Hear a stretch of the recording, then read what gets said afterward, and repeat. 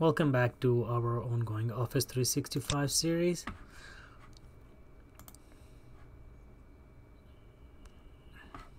Last we were doing um, SharePoint, so we're gonna go back into SharePoint. Uh, that should be right there. And if you want, you can go through this uh, training for admin. But this, uh, watching these videos, it's a quick talk here there there.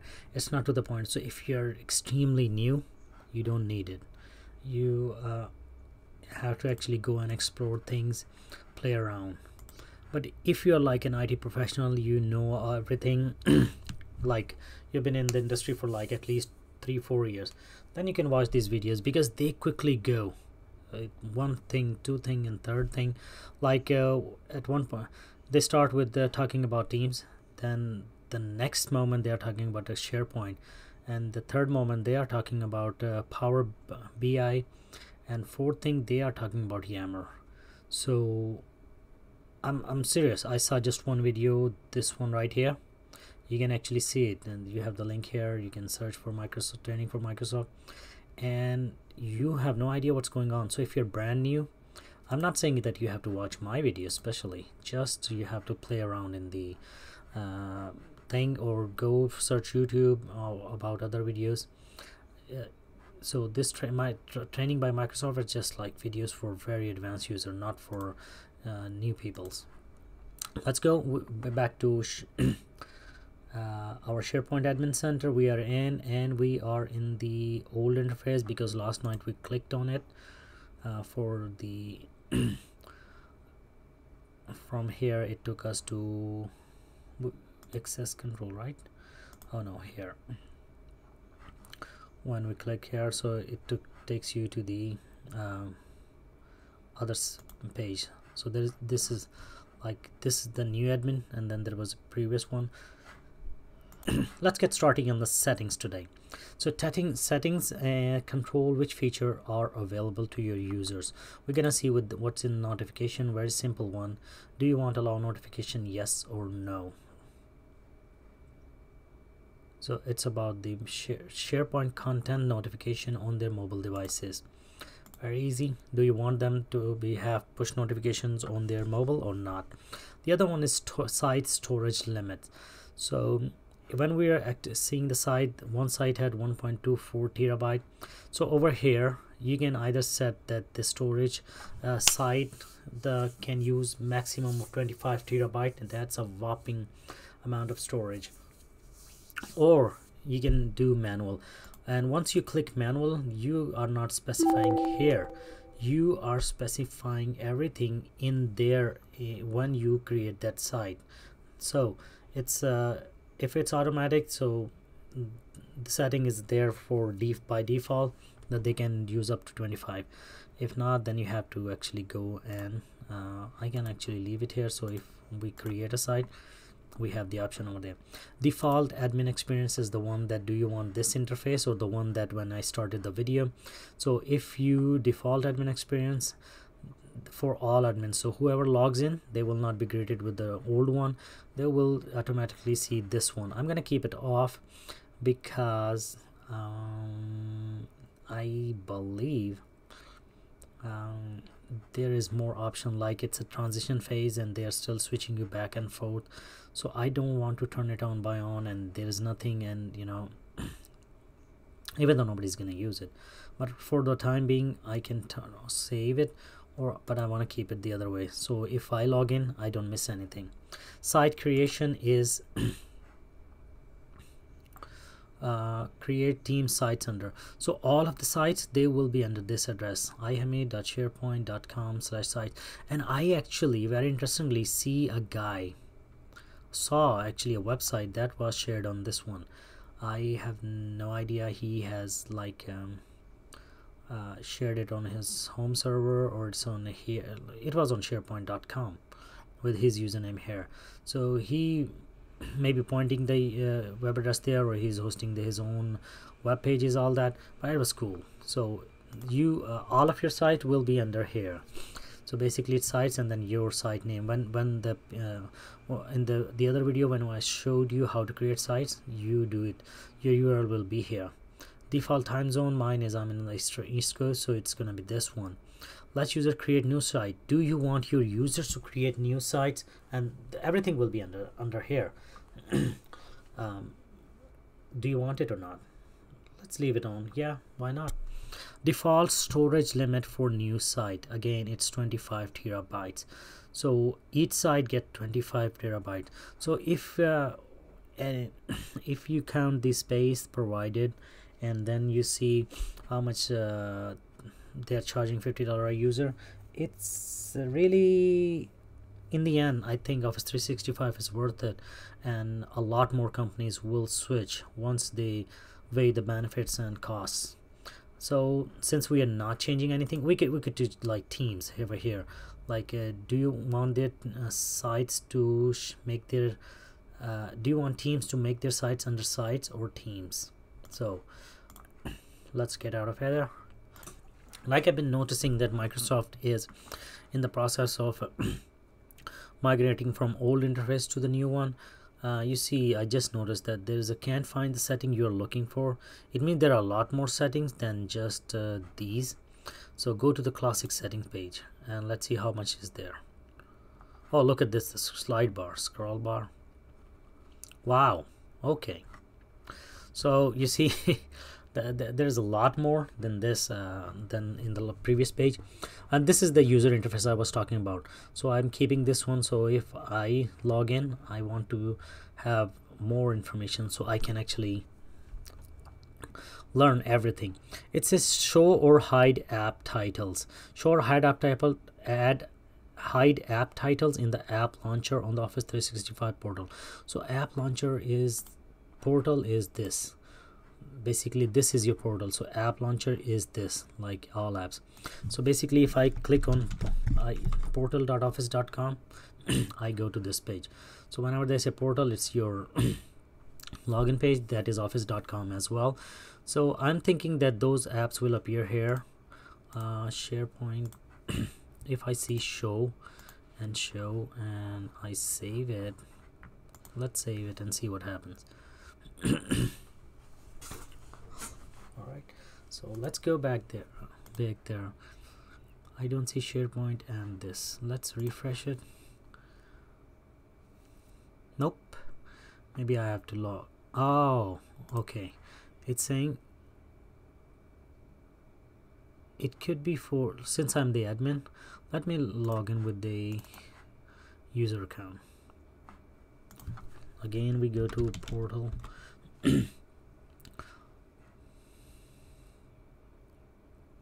right there. Uh, no Yammer. I'm jumping SharePoint and where's the other one? What's the other one was? OneDrive. It, do you, right there OneDrive.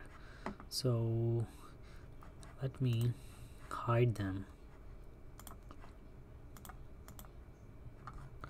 It could take like uh, on some of the settings I saw the warning especially with SharePoint that is, some could take 15 minutes some could take uh, 24 hours but they were mostly related to the website settings. So let's see if OneDrive and SharePoint disappears from the screen.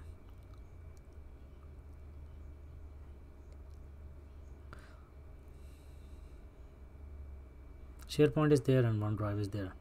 So it could be that latency issue that I talked but this basically tells am I right or not? Hi the OneDrive SharePoint apps titles office portal yes. This is the office portal.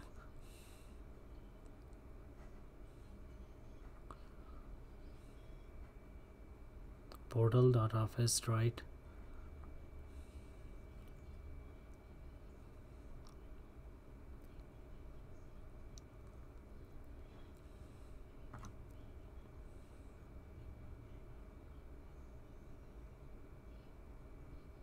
Alright, so it was exactly what I was thinking. It is 2 minutes to read. It was updated 27th of December, so this is it till effects. Site collection storage management. so do you want this site collection storage management to be automatic or manual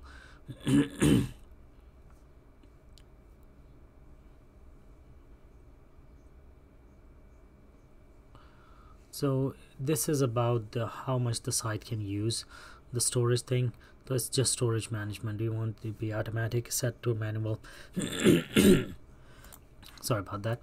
So um, it could be like um, I, um, since uh, OneDrive was mentioned alongside SharePoint and I always had the idea that SharePoint is for the website.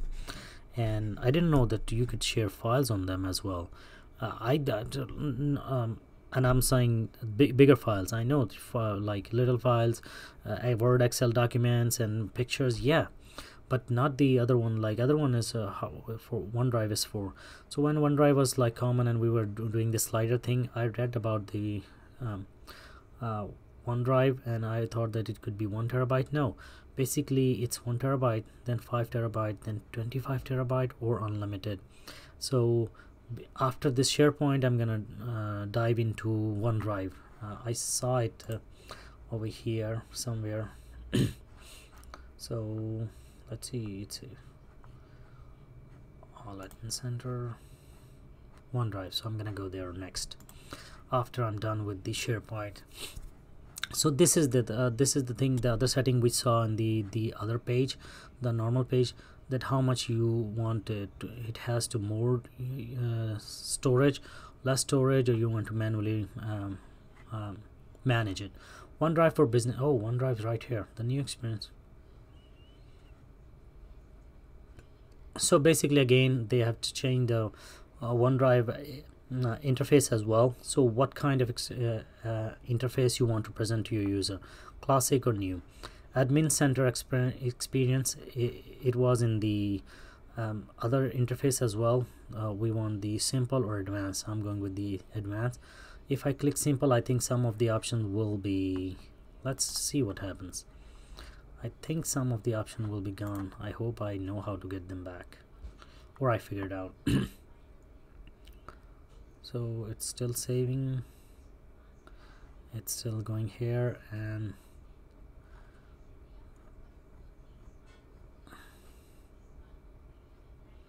I'm gonna go with the advanced back.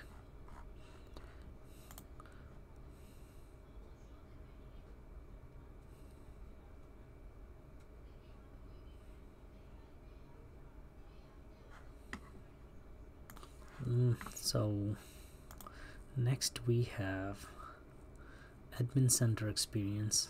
We want it to be advanced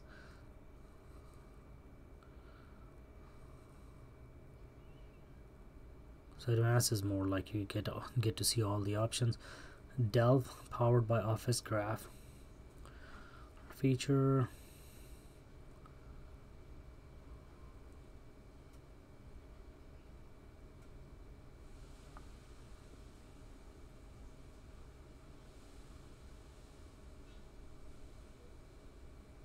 So I think Delve is social networking for the files. I'm just making this thing up based on these four bullet points. So on social networking, you have like uh, they show you other groups or channels based on your interest. This saying is that this feature will show you other people's documents if they are on they're working on you with the same thing and all that or profile and pages document like if they have shared something you can see those documents. So I can click on learn more about Delve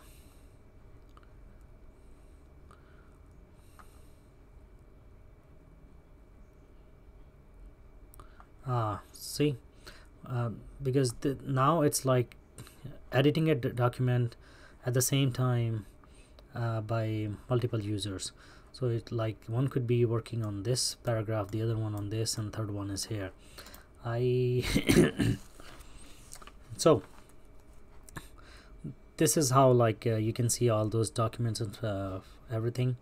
So if you disable it then they will not be able to see all those documents that others are working and they are on their in your team enterprise social collaboration is yammer.com or share, share, sharepoint newsfeed. They say you can make yammer primary social experience for everyone in your organization or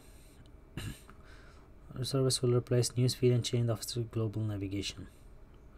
Uh, yes so it can take up to 30 minutes. Like if you change it now you're not gonna see it in real time. It can take up to 30 minutes Yammer is not a covered service under 365 Trust Center at this time so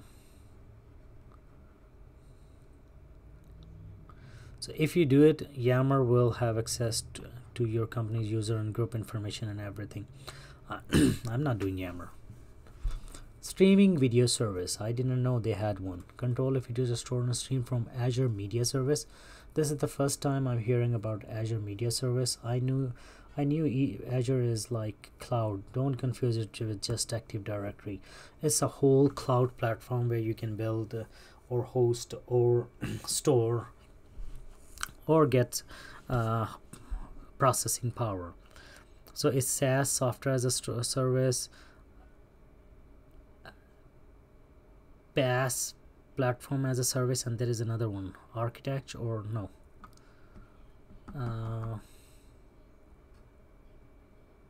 something like that. So there's another thing. So cloud is a lot bigger than just active directory azure active directory don't confuse it's uh, huge. So maybe they are they have a like media service. So streaming is normally associated with youtube hulu or netflix. Enables enable streaming video through azure media service and enable the me video player. Do you want to enable the streaming service on your sites or in your organization. So people enjoy the streaming rather than working. I'm just kidding. It's like uh, everything is a personal thing like on their website and all that personal blogs. Um, enable personal blogs. Do you want people to have blogs in those websites? Sharepoint website. We are strictly talking about just sharepoint. Site pages. Do you want site pages so site pages is like a web pages as well. So it's just a different name. Yeah, so do you want them to have uh, uh, create pages or not? These are all grayed out. And so we cannot change anything. So since it's grayed out basically they they do not want you to create the old version website. Like if there was an older version of sharepoint from now on that uh, can stay be up there. You don't have to go and remove changing or edit it or create it once from the scratch. But from now on you are only allowed to create a new version sites only. IRM is a right management. So internet right uh, information it should be information right management. Because normally with the videos or music industry they have DRM digital right media. So they put in the CDs and you know uh, so when you try to copy or you do try to like burn them they don't work because the because of that piece of software that they do that. It was very common but normally i don't think anybody uses cds anymore. That was way back i'm talking about like 15 years ago when uh, they had drm on cds and everybody has no stream uh, like spotify or you know um, these over the internet or you can download it on your uh, cell phones. So you now you don't have it on cd you have it on the actual media the file uh, the drm site creation display the creation site command OneDrive so you can so do you want your users to create site? It's basically making it easier. They see the link and hey let's go create a site. Click boom they are now creating a site. So you can either it says command it will be just a link there. And they're saying command because obviously it's gonna go into the back end. Once they click it it gonna execute the command in the back end and create a tell SharePoint to create this user site. This one is group connected team site or communication site we saw the other day. One is for the group the other one is communication like a bulletin board where they can post news. A news team site or communication site a classic team subsite so what kind of one when when they click the link what they can do? They can create this one or just a classic team subsite like they have to have a team site and then they uh, can just create web subsites. Subsite is site within a site or or you know sister site. The second option lets user create a classic team subsite yes is. Then what they have to do is it should be under this team site. Teams is exactly the same. It will be under here. Do you want them to a secondary contact? Secondary contact that, that they have to click a url so you put the url here and then they have to go to the secondary uh, uh, like what step I would say and they click on that link. They are presented with that link to create it and finalizing it. Subsite creation. Do you want hide the command? Again only for classic site like they cannot cr create subsites in the classic site or show the subsite command for all user. So they have a they have a link that they can create subsites from so we if you remember we saw the hub sites. So it's a hub is like a group of sites together. Connection from sites office 365 group. Do you want to connect sites to new office 365 groups? Like uh, or not? It's like uh, can they connect to new groups and then they have access to it or not?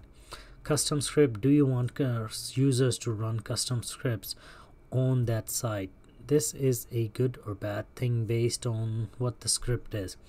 Like uh, some scripts are good some uh, they are just scripts. They are intended to do something right? So do you want it or not? For example when you see an ad what is it? It's basically a script. When you see something that uh, um, a, a video player that's even a script. That's basically running a script getting the streaming and posting it on your web page. So you are basically watching a video that is not hosted on your site. It's just that script that's getting the media and streaming it on your web page so do you want to do let them use custom scripts? Some scripts can be dangerous. That's why they it says prevent.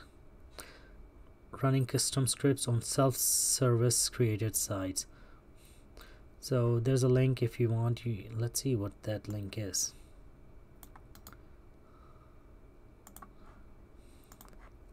let me go and read it. So I clicked and I read the caution. So this is important. Scripts have access to everything the user has access to because they are getting their uh, rights from the user login who created it. So they have their same rights as the user and they can access multiple service and you know all that.